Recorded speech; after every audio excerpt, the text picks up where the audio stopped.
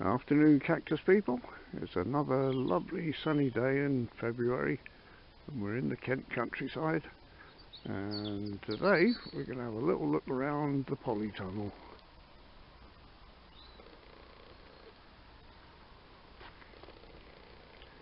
Here it is and it's completely unheated. Excuse me if I just shut the door behind me. It's a bit warmer in here. And to start with, we'll have a look at these uh, mainly Opuntias down here, Opuntia monacanthus. Uh, most of these I moved a few weeks ago because they had frost damage on from before Christmas. Uh, but I noticed a few of them are not too bad. They've been burnt at the tips, but a little bit of pruning, a bit of sulphur dusting. That one's probably had it, but um, some of them may come back. That one's again not looking too bad. Uh, a few of the bigger ones seem to have bought it around the actual stem. Uh, there's been collapse and softness around here so I think they're they're not worth saving.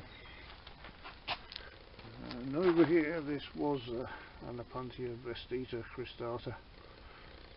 Nothing left there so he'll be going on the compost heap um, a few overwintering sedums and some peanut cactus which have come through fine. Now bear in mind that this tunnel offers very little protection from the frost so these have had to put, put up with um, a few degrees of it uh, they're not looking at all bad though. over here another collection of the punches the uh, here. Again the tips have been burnt. They're not too bad. And the humifuses they just shrivel up for the winter. They can put up, put up with most things. And a Opuntia quimilo which have not done too bad at all.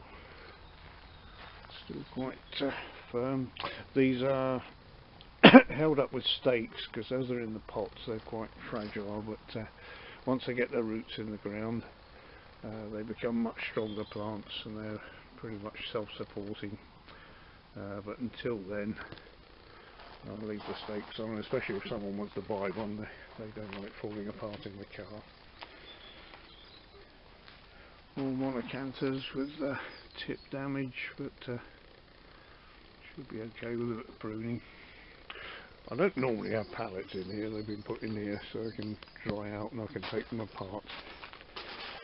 Uh, last year's pots of ginger and um, bulbine frutescens which look like they bought it but under here there's a bit of green coming through so they might come back. I've got some um, cuttings of these in the cactus house so they should be alright. Down here lots of uh, two to three year old seedlings. They all look fine.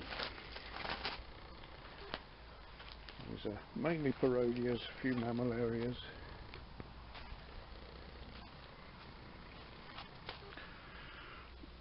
cuttings of the, the bunny ears. I think a mouse has had that one up. Nothing wrong with those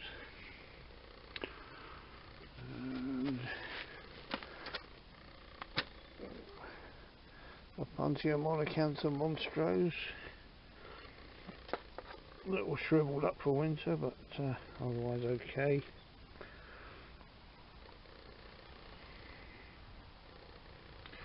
The things that did buy it were these, I think they're Oreocereus. Uh, they did feel very floppy just after the frost now. I think they've just dried out. I think they've had it. So. And, uh, Mammillaria gracilis, got plenty of that, Daz, if you're looking. Um, Opuntia salmianas, they're fine. On the top, rebutia rauschii. Uh, they've put up with the uh, the frost very well. Nice and firm there. And over here we've got various uh, different coloured peanut type cactus. The Chamaelobivia alba, and I think we've got the yellow one in there, Johnson's Gold, and uh, one I'm not quite sure which variety it is, but had a lovely reddish flower it last year. Several of those, and they've, uh, they put up with the frost fine. These Echinocactus platyacanthus. Again, nothing wrong with those. We grew all these from seed. And over here, these aren't normally in here. These um, sempervirens. I've just put in sempervirens. I've just put into overwinter in here, and the pots need uh, cleaning up and sorting out. They're dividing. More peanut cactus, are absolutely fine. And uh, Mammillaria gracilis in different stages of pruning and maturity and fine. These ones are Jovi Barber Allioni. Allioni, can't quite pronounce it. Uh, the rolling house leek, I think this is called. Again, these normally live outside, and I brought them in to uh, tidy them up a bit and the bigger peanut cactus at the back there. One good thing about the frost is that uh, they'll all flower well after it. They uh, they don't tend to flower very well if it's not been a cold winter if they don't feel like they've had a winter. And uh, some rebutias that uh, look fine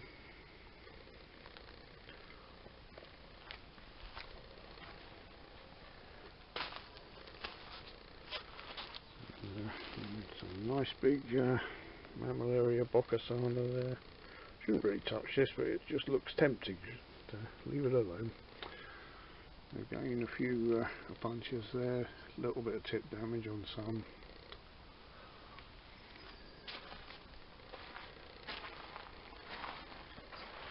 And these are Parodia arabescens, probably three or four years old now.